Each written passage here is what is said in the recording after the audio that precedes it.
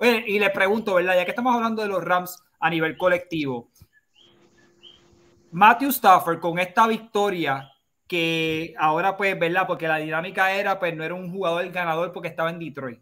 Pasa a los Rams y tenía toda la presión del mundo y pudo cerrar el show, ganar el campeonato, empata básicamente en campeonatos con Aaron Rodgers para efecto, ¿verdad? Porque cada uno tiene, tiene un, campeonato de más. ¿Ustedes entienden que esta victoria pone a Matthew Stafford en conversaciones para el Hall of Fame de la NFL? Martín. Yo estoy totalmente seguro que sí. Lo pone en conversaciones. Eh, un Super Bowl, un, sobre todo un Super Bowl, te cambia totalmente tu carrera. Este, nuestro, mi gran amigo, ¿verdad? mi jugador favorito de todos los tiempos, Peyton Manning, pudo haber sido lo grande que ustedes quieran. Si él no hubiese ganado ese Super Bowl, que él fue el MVP 2006, él iba donde la fama como quiera. Obviamente, no estoy hablando de lo contrario, pero su carrera al final del camino jamás iba a ser lo que terminó siendo. Y yo sé que él tiene dos Super Bowl, que uno, es, uno pues lo cargaron totalmente, no pasó una sola bola, simplemente se dedicó a hacer los snaps, hacer, hacer, la, hacer el count y no, no, no, no perder el balón, no hacer un drop y que su defensa lo cargara, y los running back y todo lo demás. Ok. Eh, pero eh, Matthew Stafford, con los números que él va a terminar, ¿verdad? Cuando él termine su carrera, y si se mantiene saludable, va a seguir acumulando yardas, eh, touchdown, va a seguir acumulando victorias en ese equipo y ya ganó un Super Bowl, claro que sí. Tiene, empató no solamente con Aaron Rodgers, también con, con, el amigo de Omar Drew Brees, también empató. No estoy comparando los quarterbacks, no los estoy comparando, pero ambos, ambos tienen, ambos tienen, ambos tienen un, ¿verdad? No, no estoy diciendo que jueguen igual, pero los tres esos que mencionamos tienen, tienen un, un, un Super Bowl. Otro más que nada más tiene uno se llama Russell Wilson, que tampoco se ha retirado, obviamente. Eh, Estoy pensando ahora, eh, bueno, el Big Ben se fue con dos, así, eh, ¿verdad? Así que dársela. Este, Matthew Stafford apenas tiene.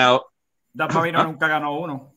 Dan Marino nunca ganó uno, eso totalmente, totalmente cierto. Este, pero este muchacho, pues no tenía las victorias necesarias. Eh, hablo de Stafford porque jugando en Detroit ganando dos juegos este, por temporada no iba a ir para ningún sitio. Por más yardas que acumulara, siempre iba a tener un asterisco. Omar lo mencionó.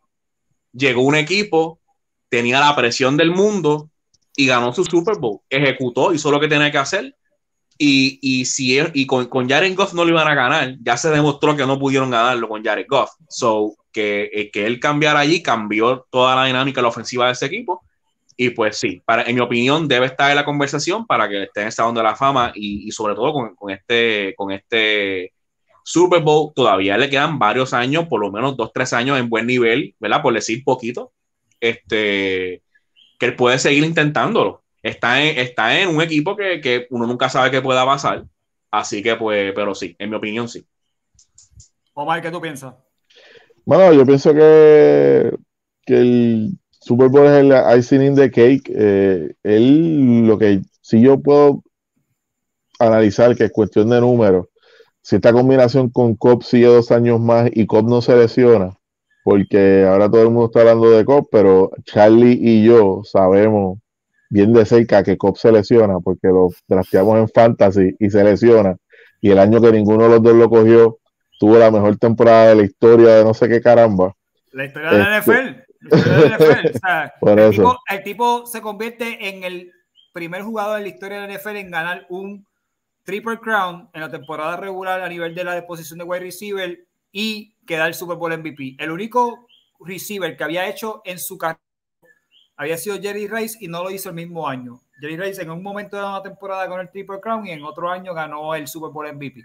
O sea, este hombre ganó las dos cosas del mismo año. Está brutal. Era para allá. ¿Y en cuántas ligas lo drafteamos este año después que confiamos en él? Por tanto tiempo. En ninguna. Buen trabajo hicimos.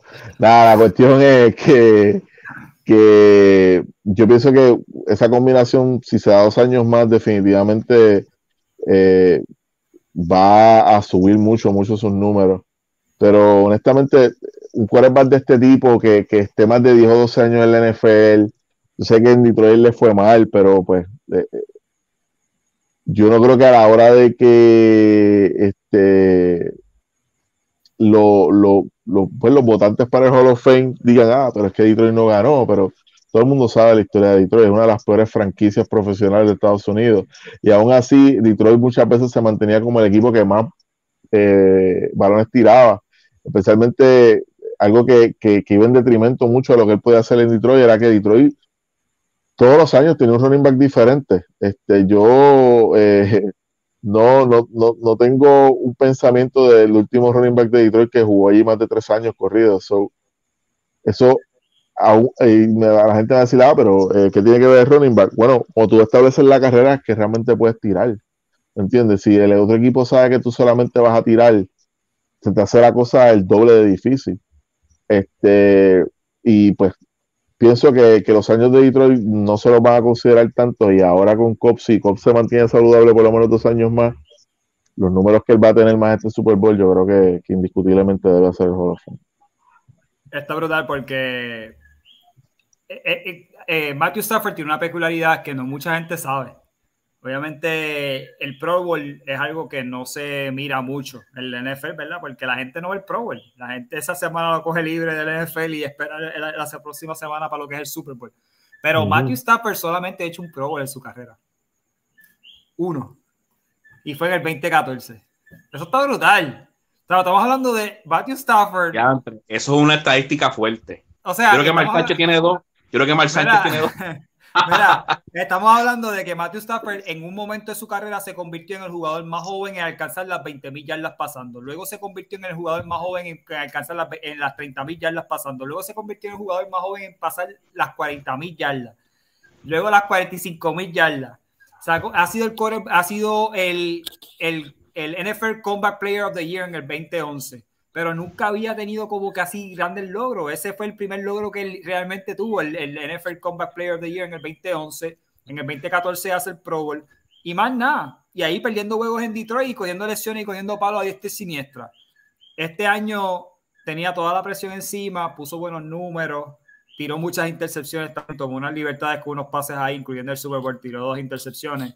Pero es una, es una carrera interesante porque para efecto cuando tú pones a mirar, ok, ¿cuáles son los achievements de él? No tiene un MVP, nunca ha estado cerca de, de, ser un MVP, nunca ha estado en la conversación de ser un MVP, incluido este año empezó un poquito caliente, pero rápido salió del panorama, ¿verdad? Dado las intercepciones.